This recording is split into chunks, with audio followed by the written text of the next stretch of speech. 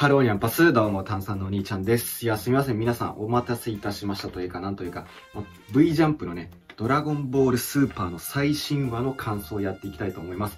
すいません。ほんと最近、いろいろ忙しかったっていうのもあるし、誕生日とかもね、会社の付き合いとかもあってさ、ちょっと V ジャンプのね、感想、遅れて申し訳ありません。もうこの薄のろうと思った方はね、ぜひコメントなど書いてください。この薄のろめってあの、アルティメットご飯がね、魔人ブーに言うみたいにさ、お前動画出すの薄のろすぎじゃね？みたいなね。ほんとね、ほんとごめんなさい。はい、ということでやっていきましょう。えー、その78話、えっと、ガスの願いということでね、ほんとこれもさ、あの、豊太郎さんが出したね、あの、ネームのさ、あるじゃん。あれ、あれも出したかったんだけど、まあ、ほんとこれもね、時間がなくてね、もう気づいたらもうこれが発売してましたからね。ね、このベジー、あの、ゴジータブルー。これなんでしょうね。この紙の感じだとさ、まあ、多分、キラキラベジータの、あれだよね、携帯だよね。なんか力が入ってる感じ。なんか筋肉がも持ってる感じもあるし、この、この髪の色ね、キラキラブルーベジータの覚醒ベジータそっくりだよね。スーパードラゴンボールヒーローズに出てくるね、あの、めちゃくちゃもうとんでもない形態のゴジータね、BM って書いてあるけど、この BM の意味ってなんだろうね。身勝手のオーラもあの持ちつつ、キラキラベジータのあの形態も持ってる、もうとんでもないゴジータが、まあ、ドラゴンボールスーパーズヒーロー、あの、スーパーヒーローズのね、プロモーションビデオの最新を見ていただければわかるんですけども、なんかね、もうほんとね、出落ち感がすごかったよね。ベジット？ベジットだっけ？ゴジータだっけ？ゴジータ4限界突破も、と、この、あの、ゴジータブルー BM ってやつが、二人がかりで普通に瞬殺されたのは、マジであれはちょっとね、ほんといただけないっすね。まあ、それはもう別の、あの、感想動画で言ってますので、ぜひそちらも見ていただけたら嬉しいですね。はいまあ、ガスの願いってことでね、まあ、ガスの願いなんでしょうね、みたいなね、まあ、タイトルからしてね。で、まあ、今回当然それがわかわかるっていうか、まあ、ガスの願いっていうよりかは、あの、エリックの願いじゃね？みたいな感じでね、エリックたちがね、そのドラゴンボール、シリアル戦にあるドラゴンボールを今集めてるわけなんですね。で、それが、えー、もう集まったということで、まあその願いをこう叶えに行くわけなんですね。で、その後に、まあ真実をこう、モナイトさんがね、真実を、過去の話をね、あのー、悟空、ベジータ、そのグラノラのね、目の前で話したわけなんですね。それを聞いてね、それを知っていて、なぜヒーターの元で働くことをやめなかったんだと。グラノラのまあその仇はサイヤ人たちじゃなくて実は引いた一味だったっていうのが分かってね、もう当然怒り狂ってるんですね。でも分かってくれと。モナイトさんもね、あの、悲しい選択っていうかもう仕方ない選択だったんですよ。そうしないと我々、我々は生き残れなかったんだとね。そういうわけで、まあ、グラノラにはしょうがなく嘘をついていたわけなんですね。そこでベジベジータが聞くんですね。あの、ガスとバーダックの戦うってとこで、そこで話は終わったわけで。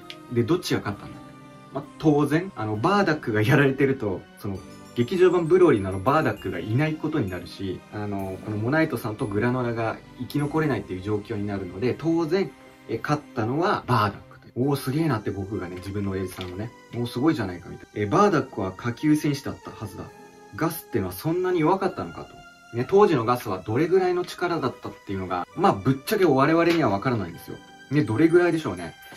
まあ、少、少なくてもっていうかなんか、せめてなんかザーボンさんぐらいはね、ありそうな感じだったけど、それに勝つっていうのはちょっとおかしな話なんだよね、バーダックが。下級選手だからね、多分1万、よくて1万だと思うんですよ、バーダック。でもザーボンさんって2万ぐらいだから、2、3、2, 2万5千ぐらい以上だから、多分そのぐらいだと俺思ってるんですよ、ガスの戦闘力がね。そこで、だからモナイトさんがいいんですよ。ガスはいや、弱くなかった。いや、強かった。とんでも強、とんでもなく強かった。だけど、何？ってそこでね、突如、空が黒、あの、暗くなるんですよ。そう、ドラゴンボール。シリアル、シリアル戦にあるドラゴンボールね、あの、ウーパールーパーみたいなね、えシェンロンが出て、キーターがこう、エレクが願いを叶える瞬間なんですね。パッとね、また空が明るくなって、おなんだなんだこのパワーつって、こっちに向かってるぜ。向かってるぞと悟空とベジータがちょっとね、もう汗だくなんですよ。なんじゃ何が来るって言うんじゃこ、この気配はグラノラも感じるんですね、気配を。来たぞその瞬間に、あの、まちちゃんだっけ？まちちゃんとオイル、あのね、太っちょがね、来て、はーいみたいな。どう？やってる？みたいな感じでさ、おめえたち、全部聞いたぞ何しに来たんだって悟空がね、もう真実をね、聞いたわけで。まあもう準備が整っちゃったからね、あの、あなたたちを始末しに来た、来た、来たわ。ということで、本当の宇宙の戦士、ガッサン登場でーす。パチパチパチと思ったら、もうすごいよ。ガス？え、ガスなの？もう身長がもう3倍ぐらい。身長がバカでかくなって、まあいかにも強そうな雰囲気でね。もう筋肉もすごいっちりした感じで、もうなんかすごい、カニも強そうなオーラを出してこう、登場するんですよ。さすがのグラノラも、あ、あれがガスだというのか。すごいね、顔だけはね、なんか、顔っていうか目つきがね、すごくね、あの、魔人ブーにそっくりなんですよ。純粋薬とか悪とかにね。特にね、純粋薬にね、あのちっちゃいね、えー、一番最初の魔人ブーの、あの、人相にそっくりなんですね。ほんとそっくり。そう、やはりあいつそうか、ドラゴンボールを使われてしまったのかってモナイトさんが。何この星にもドラゴンボールがあんのかって悟空たちがね。俺もそれを使って宇宙一になったと。グラノラがね。そういうことだったのか。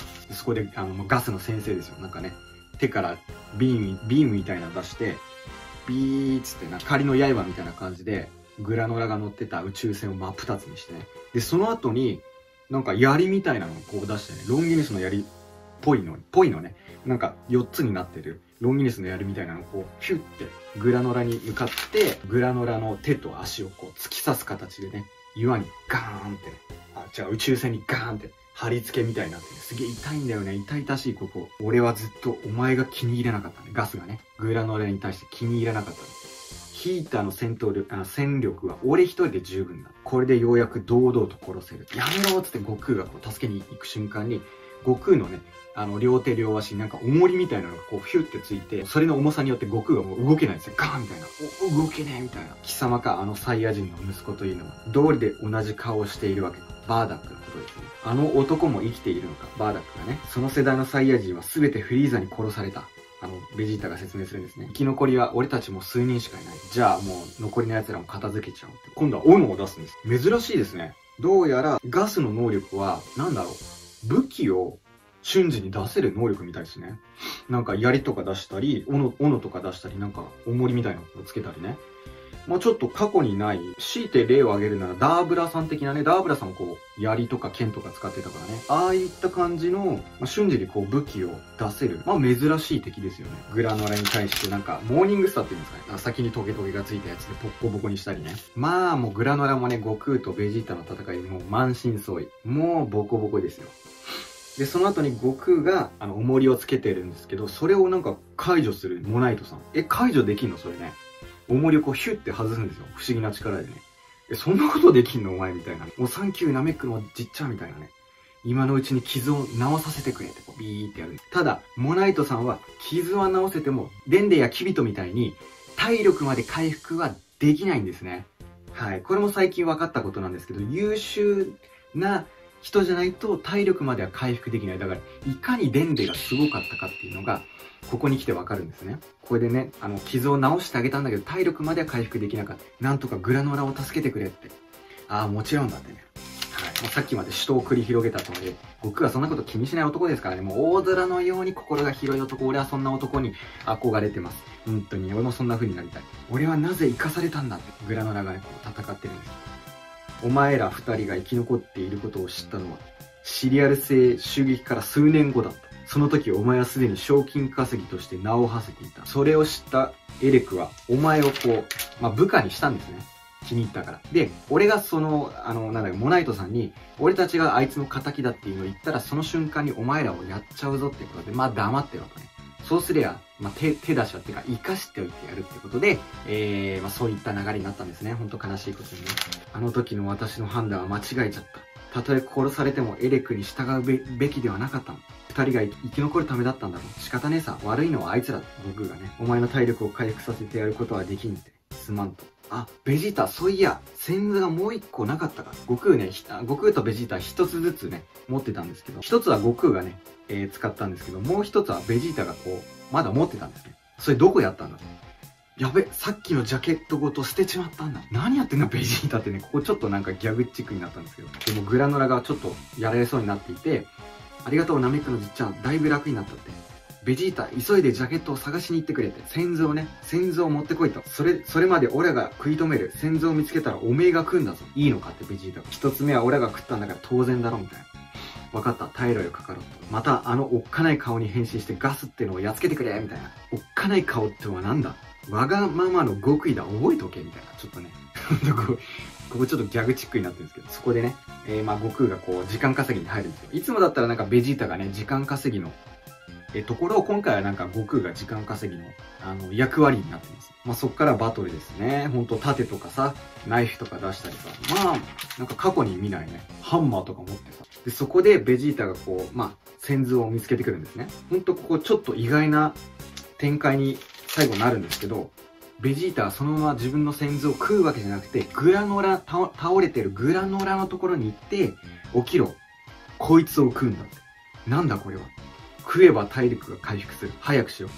お前こんなものを持っていたのかだったらさっきお前が食っていれば俺に勝てたんじゃないのかそんな卑怯なことができるかとっとと食って奴らと戦うんだ。あいつらは貴様の仇なんだろ。だったら貴様の力で蹴りをつけろ。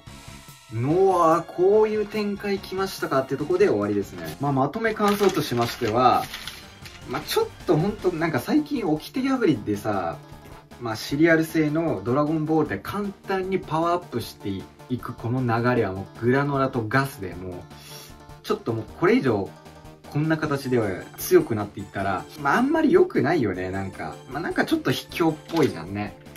はい。こうドラゴンボールでいきなり宇宙一に、その時の宇宙一にこうポーンってこう行くのが、まあなんかちょっとね、いくらこう寿命を代価にしてるとはいえ、まあちょっと掟破りすぎですよね、今回の、あのー、生存者グラノラ編は。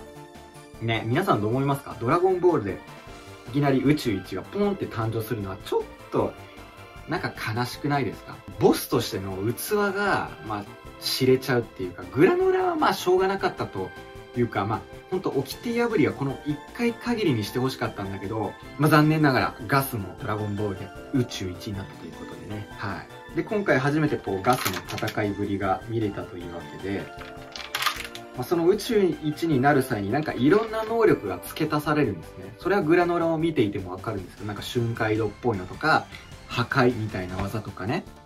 はい。そういったようになんかオプションでいろいろついてくるので、もしかしたらこのガスの武器を出すっていう能力はもともと持っていたわけじゃなくて、宇宙一になる際に、あの、付け加えられた能力なのかなって思いますね。まあ、まあ、最後にはちょっと熱いね、えー、グラノラのこう体力を回復させて、お前があのガスを倒しに行けっていうね、ちょっとあの胸熱な展開になってきました。はい。まあ、とはいえ、ガスの方が後に最強になったので、その能力的にはもしかしたらガスの方が上なのかもしれませんし、まあ、そのグラノラも悟空とベジータとの戦いで、左目もね、あの、開眼したということで、ね、あの、シリアルの、あの、特性の最強の目も、この両目で開眼したので、まあ、それが、それを得たことによって、ガスと互角以上に戦えるのかもしれないし、もしかしたらガスの方が、やはりなんかこう、まだ隠された能力とかね、えー、後から宇宙一になったからグラノグラノラより断然あのパワーが上っていうことで、もしかしたらグラノラだけじゃなくて悟空たちも加勢してやっとこのガスに勝てるんじゃないかなっていう感じになるのかな。ほんとこれからはその2つのパターンでいくかなと思ってますね。あとはガスがなんでバーダック、下級選手のバーダックに負けたかっていう理由もなんか、モナイトさん知ってる風だったけど、もしかしたら弱点みたいなのが、そのガスにはあるんじゃないのかっていう、ってとこを考察したいわけなんですね。ほんとなんで負けたんだろうっていうのが、なんか理由とかね、えー、わけとか弱点みたいなのがないと、ちょっと厳しいんじゃないのかな。か、あとはもうグラグラノラが頑張ってガスを倒すかね。で、まだ宇宙一になりたてだからさ、あの自分の力にまだ覚醒したてでうまく操れないみたいなベジータにも言われてたじゃん。戦闘経験が足らないみたいな。でもガスも戦闘経験は多分たっぷりあると思うんで、まあグラノラとはまた違うのかな、そういう弱点がね。だからこれからはグラノラがガスと戦ってグラノラが勝つか、ガスが勝って3人でガスを倒すかみたいな。なんかそういう流れになるのか、それともモナイトさんがね、ヒーターチームの人質にと取られてみたいなそういう展開もちょっと想像できたんですけどね。うん。あとはちょっと皆さん忘れてるのが、オートミール。こいつは何なの？みたいなね。はい。オートミールさん、まあちょっと、なんか、まだ謎、一番謎だよね、オートミールが。オートミールがまだ一番謎なんで、もしかしたらこいつが真の、真の裏ボスみたいになるのかな、みたいなとこで、えー、そう思ってますね。皆さんもぜひ考察、どういった感想をね、えー、持ったかちょっとコメントいただけたら嬉しいです。そしてまた、えー、こういったドラゴンボール関連の動画もなんか、やりたいんですけど、なんかね、思いつかないんですね。どういった動画をした方がいいのかっていうのがちょっとわかんないので、なんか見たいね動画とか、なんかこういうネタ、ネタみたいなのがありましたら、ぜひコメントで教えてください。ぜひなんか面白そうだなと思ったら動画化しますんで、よろしくお願いいたします。そしてチャンネル登録とグッドボタン忘れずによろしくお願いいたします。では、バイバイ。